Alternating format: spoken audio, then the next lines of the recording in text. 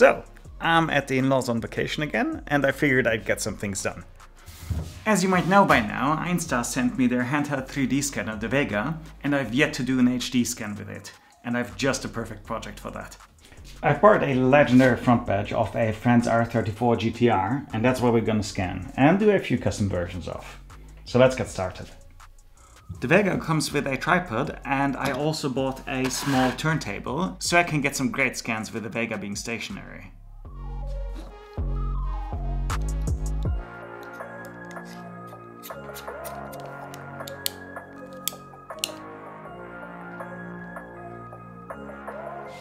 So the scanner has an easier time picking up all the details as well as having less trouble with all the shiny bits. I'm gonna spray the batch with a powder.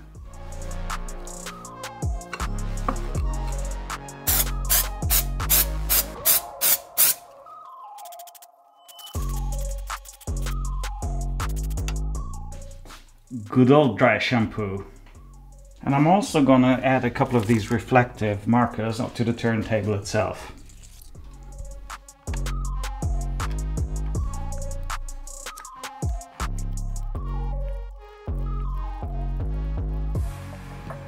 That should do.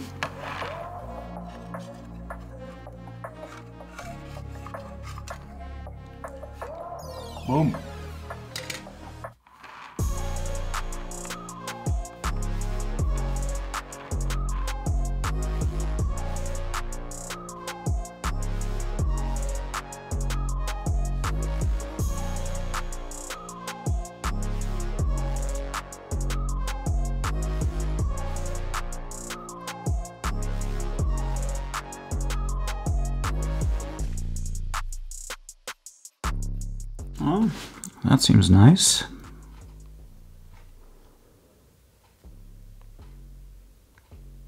Ooh, can probably work with that. All right, let's bring it over to the PC.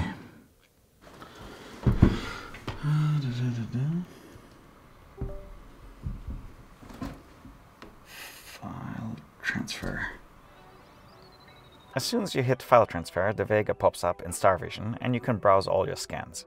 I'm picking the scan I believe to be the best out of the three attempts I made. First, I usually import the model into my model library, from where I can pop it into a new workspace.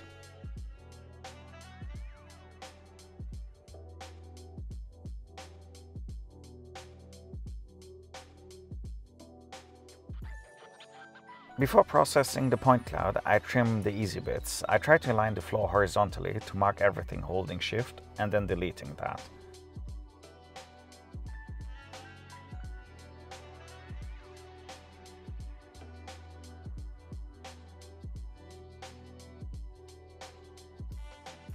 Then I grab a couple more straight points and I move on to processing. In my tests I've done, the one-click processing always had better results compared to when I played around with the settings myself. So that's exactly what I'm going to do here. And that model is looking really freaking nice. At this point I can do a bit more trimming at the bottom, that way I won't have to mess around with it in Fusion.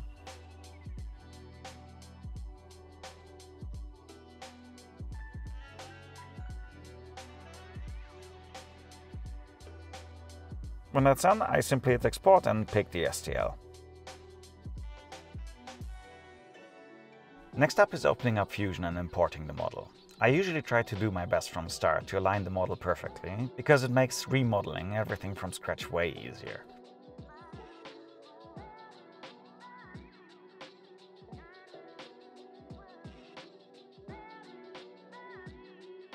And jumping ahead, this is what I came up with trying to recreate the original. Unlike in my previous video, where I modeled the front lip, I was using mesh surfaces and modified them by hand slowly. This time around I've gone with sketches that I can dimension perfectly and work with extrusions to get my base shape in a good place, which I then can edit with chamfers and fillets as needed. There are definitely some more details I can improve upon, but sketching this up took me a significant amount of time, because as I said previously, I'm not a master modeler, but even so, I can work myself through getting something like this done, and I will be uploading the STL file of my scan as well as my own recreation for you to check out, improve or redo entirely. Links as always in the description. Also, subscribe while you're down there.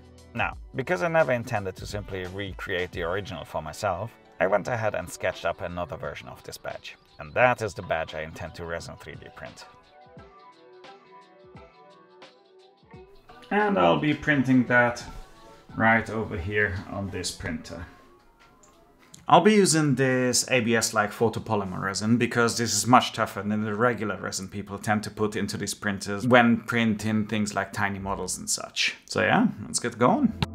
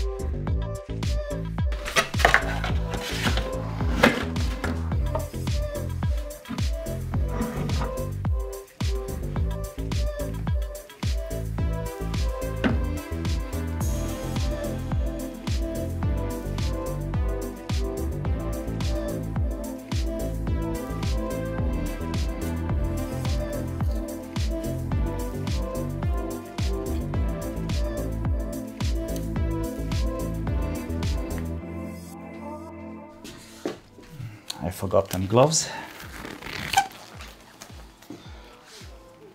This is the messy bit when it comes to resin 3D printing, I guess.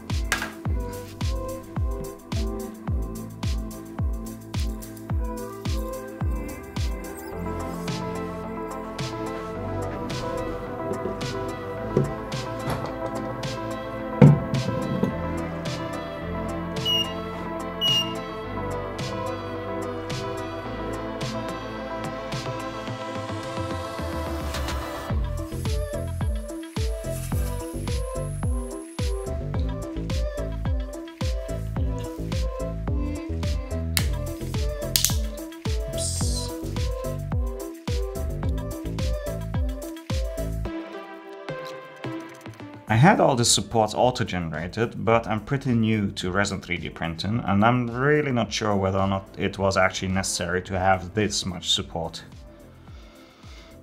Hmm.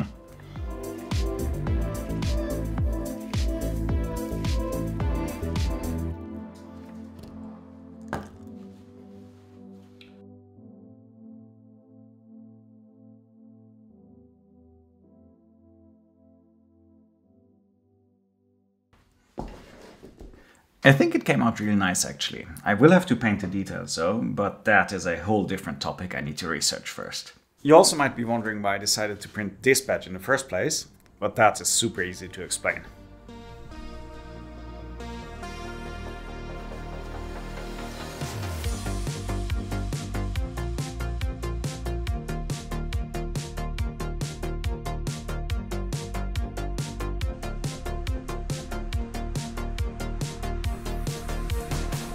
I'll see you in the next one.